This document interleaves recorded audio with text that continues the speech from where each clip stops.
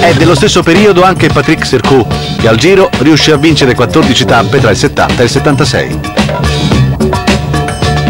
In virtù della scuola di suo padre, Albert, eccellente corridore, svolse gran parte della sua attività su pista. La pista eh, ti regala delle qualità che sono eh, intanto le qualità proprio